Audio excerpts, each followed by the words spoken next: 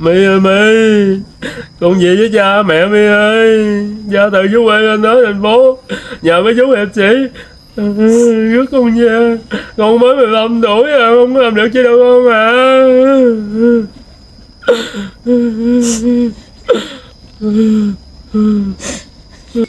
Mẹ à, con nghĩ mẹ đi mẹ hết nổi rồi.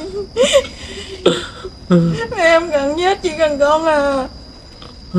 Em chào hai vợ chồng anh chị Hai vợ chồng anh chị có thể giới thiệu là anh chị tên là gì? Tôi tên Nguyễn Hoàng Thấn Sinh 1984 Dạ.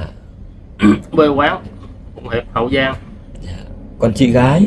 Dạ, em tên Vân Thị Nga Sinh năm 1982 Quê quán ở cũng Hậu Giang Hai vợ chồng anh chị là quê quán Hậu Giang ha? Dạ. Anh chị mới từ Hậu Giang lên Bình Dương hay là đi hồi nào đấy? Dạ, Em đi hồi 3 giờ. Em đi hồi ờ, Ở dưới là 10 giờ 10 giờ đón xe lên đến 3 giờ sáng tới bến xe Hôm nay hai vợ chồng anh chị lặn lội từ một tỉnh rất xa ở tỉnh miền Tây Lên tới Bình Dương Hơn cả trăm cây số đúng không ạ? Dạ. Nhờ anh em đội hiệp sĩ Nguyễn Thanh Hải giúp đỡ gì đây? dạ, dạ, Tìm con gái Tìm con gái Con gái của chị họ tên đầy đủ là gì? Nguyễn Thị Khả My Nguyễn Thị Khải My Ngày à? 16 Khả My. 12 Khả My? Dạ. 16 tháng 2 năm 2009 Trời đất ơi mới 15 tuổi hả? Dạ. Bé bé là bỏ đi ngày nào đây chị? Dạ 10 giờ lúc đó, 10 giờ ngày 8 tháng 10 tháng 7 Ngày mùng 8 và hiện tại hôm nay là ngày mùng 10 Dạ, Vậy là hai ngày trời rồi Sự việc này mình đã trình báo cơ quan chức năng công an chưa? Dạ, em có mình rồi, em trình trình báo công an. Dạ, công an rồi Trình báo rồi đúng không ạ? Dạ. Dạ. Con nhà mình đi là có mang theo thứ gì đi không? Dạ, có có đi với, chiếc xe quay Chiếc xe siêu út 50 luôn Chỉ Chị, lấy em 12 Siêu út. triệu chị rút biển số bao nhiêu? Dạ. 95 E 2 E E 087 10 Xe đấy là xe phân khối bao nhiêu ạ? 50 Phân khối 50 à? Dạ. 50cc đúng không? Dạ. Chuẩn bị cho của nó đi học. thằng Việt Thái Dạ Và mang theo những thứ gì nữa? Dạ anh lấy em 12 triệu 12 triệu Dạ Ôi trời đất ơi Tại vì em đi mặn cho ta rồi tiền để nhà Rồi nó biết Con nhà mình còn đi học không? Dạ còn Đang học lớp mấy đây? Dạ Lớp học lớp chín. 9 lên lớp 10 Anh chị là được mấy người con? hai người Bé này con thứ mấy đây anh chị? con đầu vòng Con lớn đúng không ạ? dạ Con nhà mình có ngoan không? dạ Ngoan không- rồi đó giờ không biết đi ra đường Không có đi chơi ở đâu chứ Ngoan lắm hả? dạ. Ngoan sao lần này đi lấy cả xe lấy cả tiền của mẹ đi vậy? Em không biết có ai xúi dục gì không em không biết Nhưng mà Trời hồi đó ơi. giờ là không bao giờ tiền bạc em để đó là không bao giờ đụng tới Nên em mới em để tiền em chỉ chỗ cho nó coi Em đi mặn á Mình cất nhiều không mà bé lấy 12 triệu đi Dạ em cắt cũng khoảng à, 20 triệu. Vậy là vẫn chừa lại hả? Dạ đi lấy mớ à chừa lại Có có có vàng bạc gì không chị? dạ không Có đem đồ quần áo đi không? quần áo thì đem ba cái quần của dì sáu nó cho với hai ba cái áo thun gì đó Đi là có viết thư, viết từ hoặc nhắn Dạ tin không, gì không luôn á em không ngờ là nó đi luôn á Trước đó là anh chị có la giày gì bé không? dạ không Mình ở quê là gia đình nhà mình làm công việc gì đây? em thì đi vào mướn ở nhà có bán tập quá nhỏ mà ta tháng này nghỉ hè cái có, có con em ở nhà nên em có đi mặn mướn cho người ta Con nhà mình bạn bè có hay tới nhà chơi hoặc hay đi dạ chơi không, bời gì không? đi học chỉ có chơi thân với nhỏ kế bên nhà thôi Nhỏ kế bên nhà rồi giờ tập tụ bạn bè hết trơn Nhỏ kế bên nhà có ở nhà không hay là cũng đi rồi? dạ ở nhà Ở nhà. Con nhà mình chắc bấm điện thoại nhiều lắm đúng không ạ? dạ đúng Thường xuyên lên các trang mạng xã hội không? em thà không có đụng kiểm tra điện thoại nó nhưng mà em thấy bấm điện thoại suốt à Mình có nghe bé gọi điện hoặc nhắn tin cho ai không? Có thấy không? có nhỏ cháu nó nói là nó thấy nhắn tin cho Kim Linh ở Bình Dương vậy đó Ừ. Dạ. Kim Linh là con gái hay con trai? Con gái Gái là à? nên là nó chỉ có biết cái coi là con bé đó thôi Quen trên mạng đúng dạ, không? đúng rồi Bé chơi nhiều vậy mình mình có bao giờ mình kiểm tra hoặc dạ, mình can thiệp không? điện thoại Sao vậy? tại vì thấy nó là mình không có tìm hiểu riêng tư của nó Dương tư hả? nói với nó cài mật mã nữa Ừ. cài không mật có đụng khẩu, tới. không có đụng được cái điện thoại của nó Em đã nói rất nhiều trường hợp rồi Nhà mình có hay xem kênh của anh em không? Dạ. Có. Có sao để Ờ, trường khuyên- hợp này xảy ra? Dạ em khuyên nó rồi quá trời em khuyên nó không được luôn á. Em nói Hình như con là- đừng có để bị dụ nghe mà. Nó nó cũng già già cười cười vậy thôi à tại vì rất nhiều cái trường hợp các bậc làm cha làm mẹ về đây chia sẻ rằng là con xài điện thoại rất nhiều và không đụng tới. Lý do là quyền riêng tư nhưng rất nhiều video em đã có nói rồi mà. Tại vì nếu bé mà từ 17 18 tuổi trở lên thì mình hạn chế còn con nhà mình 13 14 15 16 tuổi thì mình phải xem chứ không phải là quyền riêng tư. Dạ. bởi vì con là tuổi đang còn nhỏ rất dễ bị cám dỗ cũng như là bị tác động bên ngoài đặc biệt là chơi các trang mạng xã hội. Dễ bị bạn bè lôi kéo đặc biệt sợ rằng là những cái kẻ xấu cám dỗ nói lời ngon tiếng ngọt. Đó. Bây giờ là tới giờ phút này là anh chị đang sợ nhất điều gì đây? Em em cầu mong là chỉ gặp con em thôi chị đang sợ nhất con mình gặp điều gì? Em sợ nó bị lừa qua bên nước khác khổ thật sự khổ. Bé trước giờ đã từng đi ra khỏi tỉnh hậu giang bao giờ chưa? Chưa bao giờ rồi sao mẹ cho chứ. Nhà mình trước giờ là ở quê không hả? Dạ. Lúc trước có đi thành phố thời gian lúc đó còn bé dạ. nó còn nhỏ. 6 tuổi là về quê hồi lúc đi thì một tuổi mà 6 tuổi là về quê rồi. Là trước giờ là ở quê làm ăn. Dạ. Trong cái quá trình cái thời gian ờ, một tháng hai tháng đổ về đây là mình có la giày gì bé không? Dạ không. Cũng như trong nhà như nó làm chịch thì có là như la con làm sao vậy vậy vậy chứ không có là quá đáng. Bé có tâm sự rằng muốn đi làm kiếm tiền không? Dạ cơ hồi lúc vô thi á nó nói à, con thi rớt á. Chắc con đi làm. Cái em mới nói con còn nhỏ tuổi quá à không có cho đi làm. Nếu mà rớt mình trường đó mẹ đưa qua trường khác học cái tình trạng học lực của bé vừa rồi là thi có được không? Là còn nó thi có trung bình hả? Hồi từ lớp mẫu giáo cho tới lớp 7 á, là nó học sinh xuất sắc không? Là có được lên lớp 10 không? Dạ không. Dạ không. Không được lên lớp 10 dạ. Hả thì bởi vậy em nó đợi nó đợi mẹ nó nghỉ mần xong nó đi rút học bạ cho nó đặng em chuyện qua bên khác trung tâm cho nó học. Cho nó học nó hết học lớp 12 tới cho nó. 12 rồi đủ tuổi ra đi làm. Em cũng nói với nó vậy đó. Ở nhà là- là- đi làm được ở nhà là thường thường là mẹ hay là ba là hay tâm sự với con? Em thì Mẹ nhiều ảnh thì phải ảnh đi làm làm suốt ngày à. Ít ở nhà lắm. Dạo gần đây bé có nói những cái gì đó kỳ lạ không? Dạ không. Em nói là nó bình thường lắm. Không có em gì đi hả? làm vậy nó còn nói á là phải mẹ về sớm một chút nữa. Ấy nhi là bạn ấy nói ấy nhi rủ đi ra chợ chơi cái em còn nói nó gì năm không có nhà đâu ai giữ nhà đâu mà hai mẹ con mình đi. Mình ở quê là mình có nhà cửa không? Dạ Không. có. Có để cho con cái thiếu thốn thứ gì không? Không cái điều thiếu là em nó không lắm có tại luôn đó vì muốn gì là em chịu đó à. Vậy là mình rất cưng con đúng không? Dạ. điện thoại bé xài lâu chưa? Cái đó là cũng ipad. Rồi cái, Cái- đó mà cái ipad của người ta cho. cái đó bên tài trợ nó cho nó học giỏi đó rồi nó À, vậy hả? học bổng không Dạ. giỏi nhưng mà tiếc rằng lớp 10 đã không đậu ha. Dạ em nói rồi cái điện thoại này là à, nếu mà ấy là nó không nó bị hư. Mình mình khu vực nhà mình có camera không? Dạ không. Mình có hỏi làng xóm ở đấy là có phát hiện là con nhà mình có ai tới chở đi không?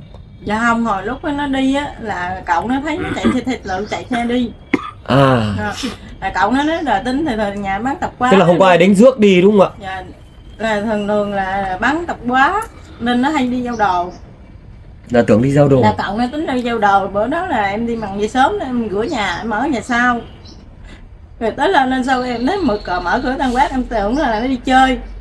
Rồi sau tới trưa trưa gần chiều rồi em thấy ủa sao bữa nay đi chơi nó không về? Em mới tới quán em kiếm. Thì vô em coi tiền này mất bé mới 15 tuổi chưa từng đi ra ngoài mà đặc biệt rằng lại ở một vùng quê mà dạ. hồi đó nhờ tiền bạc em dám gan mà dám lấy cả xe đi cũng như là lấy 12 triệu đồng để bỏ nhà đi. Dạ.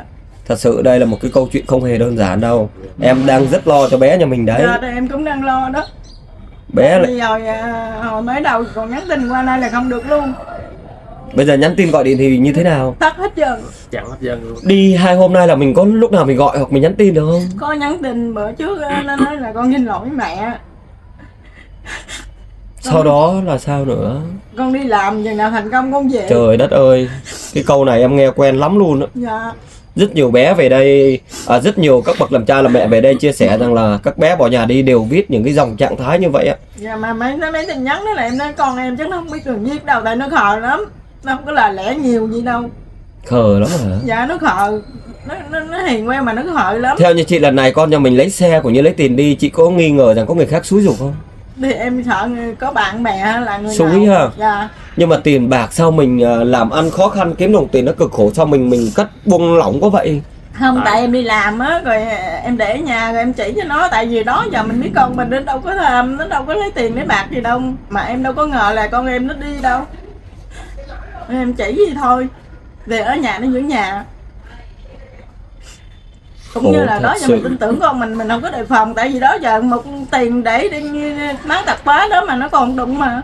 Mình không bao giờ mình nghĩ đứa con mình trở nên như vậy đúng không ạ? Dạ đúng rồi. Tới giờ phút này thì tá hỏa ra cả hai vợ chồng rồi. Dạ. ở đó ai cũng nói chứ nó chợ nó hiền muốn chết mà sao nó dám đi vậy? Ai cũng bất ngờ chứ Chị trên video này chị hãy nói một cái điều gì đó với con gái của chị tâm sự với con khuyên bảo con đi. Hy vọng con xem được video này sớm quay trở về. Mi à con có thấy mẹ con quay về với mẹ đi. Mẹ con ơn con lắm. Mình tâm sự những cái điều tình cảm với con để cho con hiểu đi. Mẹ thương con mẹ đâu có để con thiếu thốn gì đâu. Con phải đi vậy Không chào mẹ đi con quay về đi. Quá khổ. Rồi ba nào Ba tâm sự với con đi.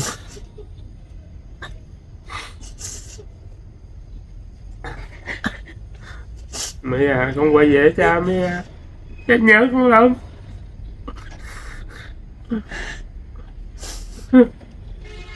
Anh đang sợ nhất điều gì?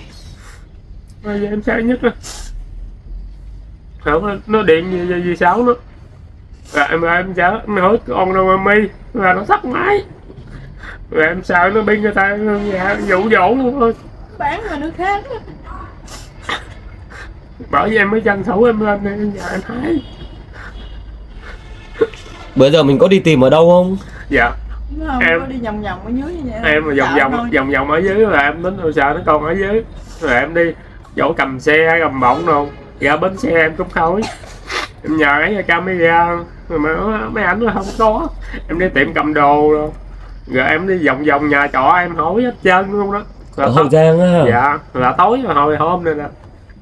Là em chưa tới giờ lên xe rồi em chạy ra công viên đó em kiếm hết trơn luôn đó. Mà không thấy bóng dáng đâu. Rất sợ rất lo Bởi vì Dạ. con gái nhà mình tuổi đời còn rất nhỏ 15 tuổi. Hồi đó giờ chưa xa mẹ lần nào. Chưa từng va chạm bên ngoài đặc biệt đi lần này mang theo xe và mang theo một số tiền rất là lớn. Dạ. Sợ rằng gặp những đối tượng xấu. Dạ. Họ có thể họ lợi dụng. Thứ nhất là họ có thể bắt ép con mình làm những công việc nhạy cảm. Em nói á, miệng á lừa tiền lừa xe. Em chấp nhận miệng trả con em về là được. Em không có cần thiết mấy cái đó. Em chỉ cần con em thôi. Dạ. Em sợ rằng như này Bé chưa từng bươn trải bên ngoài Dạ. Đặc biệt bé còn nhỏ. Những người bên ngoài họ có thể họ nói ngon nói ngọt Tác động Và rồi bé nhà mình nghe theo lần này đi Theo em nghĩ là có kế hoạch gì đấy. Dạ. Cái này là có người xối dục và lên kế hoạch Tác động cám dỗ để bỏ nhà đi. Không bao giờ có cái chuyện một cái đứa trẻ mà mới 15 tuổi Đặc biệt là chưa xa gia đình. Và theo như anh chị chia sẻ là một người con ngoan Trò giỏi đúng không ạ? Dạ. Mà không có gan nào mà mang cả xe mà lấy 12 triệu đồng để bỏ nhà đi Cái này chắc chắn 100% chơi mạng xã hội và quen bạn bè trên mạng xã hội. Có thể là quen rất lâu rồi mà anh chị không hay biết tới. Dạ. Và sau đó thì có thể là chia sẻ rất nhiều cái câu chuyện đời tư trong gia đình rồi những cái người đó người ta xúi dục. Nghe bạn nói là nó quen bé Kim Linh đó là ở trên Bình Dương đó là 6 tháng nay rồi. Đó là mình nghe Nghe người ta nói nó thôi. thận nó nói thôi nó biết thôi chứ còn còn như mình mình không có kiểm tra nó mình không có biết. Bạn thân là đang ở nhà đúng không? Dạ. Mình có lại hỏi bạn thân là bé có hay tâm sự gì với bạn thân đó không? Nha không. Nó đi nó cũng nói gì hết trơn. Thật sự rất khổ. Hy vọng con gái xem được video này thấy cả ba cả mẹ lặn lội từ hậu giang đến linh bình dương thì con gái đang ở đâu đó hãy sớm quay trở về để đoàn tụ với ba mẹ. Bởi vì tới giờ phút này cả ba cả mẹ về đây. Ba thì cũng đang nức nở mẹ thì khóc quá trời. Nên mong rằng con gái hãy thương ba mẹ thương em ở nhà. Hãy sớm quay trở về để đoàn tụ với gia đình bởi vì con nhỏ xíu à. Con mới 15 tuổi con biết gì đây? Mà đặc biệt lần này con đi con lại mang tiền mang bạc mang xe đi. Con đi ra bên ngoài cho con làm gì đây? Hay là con bị à, các bạn dụ dỗ lợi dụng, thậm chí là các bạn, hoặc là những cái đối tượng khác, thậm chí là những ông chủ, bà chủ quán có thể là vì tiền bắt ép con làm những công việc nhạy cảm, đặc biệt là những công việc vi phạm pháp luật. Để mà họ họ họ kiếm tiền cho bản thân của họ, nên mong rằng con gái đang ở đâu đó hãy sớm quay trở về. Bởi vì tới giờ phút này là cha mẹ đã báo cơ quan chức năng công an ở hậu giang rồi. Các chú, các bác công an cũng đã vào cuộc để mà đi tìm kiếm con rồi. Nên mong rằng con đang ở đâu đó hãy sớm quay trở về còn những cái đối tượng nào mà đang giữ bé thì hãy à, thả bé hoặc là đưa bé quay trở về đoàn tụ với gia đình. Còn nếu cố tình ngoan cố mà chứa chấp đã và đang có ý định xấu bắt ép bé làm những công việc à, nhạy cảm đặc biệt là những công việc vi phạm pháp luật thì chắc chắn rằng cái khung hình phạt sẽ rất là lớn. Bởi vì bé năm nay mới 15 tuổi trẻ em dưới tuổi vị thành niên. Đừng để à, cái hậu quả đi quá xa nên mong rằng là đối tượng nào, cô chú nào mà đang giữ chứa chấp bé, hãy nhanh chóng đưa bé về với điều kiện là chưa gây tác động gì tới bé. Còn nếu mà đã gây cái hậu quả gì với bé thì chắc chắn phải chịu hoàn toàn trách nhiệm trước pháp luật rồi. Và con gái tới giờ phút này mà con đi theo ai đó mà người ta không cho con về, khống chế con, hoặc là con đã bị sập bẫy của các cái quán, đặc biệt là những cái quán trá mà không cho con về, thì con hãy thật bình tĩnh, con gọi về số đường dây nóng của các chú các bác công an là 113 trước sau đó con gọi cho các chú đội hiệp sĩ của Thanh Hải Bình Dương. Theo số điện thoại 0913785858 các chú sẽ có cách có hướng để đưa con về. À, đoàn tụ với gia đình một cách là an toàn nhất. Gia đình nhà mình cho cơ hội những người nào dẫn con gái nhà mình đi làm mấy ngày? Ba ngày ý em hỏi là bây giờ gia đình nhà mình dạ. cho cái cơ hội người này này những cái người nào mà đang chứa chấp bé dẫn bé đi là cho cơ hội mấy ngày? Hai ngày hai ngày đúng không ạ? Dạ. ngày hôm nay và ngày mai. Dạ. nếu mà đưa con gái nhà mình về dạ. một cách bình an với điều kiện là chưa gây một cái hậu quả gì với bé. Dạ. Từ thể xác tới tinh thần thì gia đình nhà mình hoan hỉ bỏ qua. Dạ. Nhá. Còn Tiền- quá hai ngày. tiền gì đó em không cần thiết chỉ Còn- con em vậy thôi. còn quá hai ngày là mình không bỏ qua nhá khi anh em đội hiệp sĩ Nguyễn Thanh Hải mà tìm được gia đình nhà mình ngay lập tức bàn giao cho cơ quan chức năng có thẩm quyền Dạ. để giải quyết cái sự việc nhá. Dạ. Dạ.